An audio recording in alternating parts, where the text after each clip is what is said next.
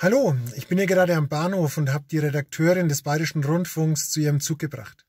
Sie war heute Nachmittag mit einem Fernsehteam da und hat sich informiert, wie wir als Kirchengemeinde denn Gemeinde leben und wie wir auch Gemeinschaft leben in Zeiten dieser Corona-Krise.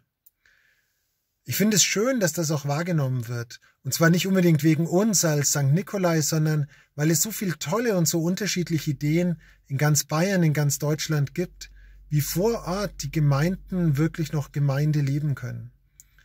Und ich erlebe das immer wieder, dass das ohne die Ehrenamtlichen nicht möglich wäre. Die, die ihr technisches Know-how einbringen, die, die Telefonanrufe machen, die, die Briefe austragen. Deswegen ganz herzlichen Dank heute Abend an euch, an euch alle, ohne die Gemeinschaft einfach nicht möglich wäre. Für alle, die wissen wollen, was bei uns dabei rauskam, morgen Abend Mittwochabend 21 Uhr in Kontrovers kommt der Beitrag. Wäre schön, wenn ihr vielleicht Lust habt, mal reinzuschauen. Ich bin auf alle Fälle gespannt, was bei uns heute rausgekommen ist. Einen schönen Abend und gesegnete Zeit euch.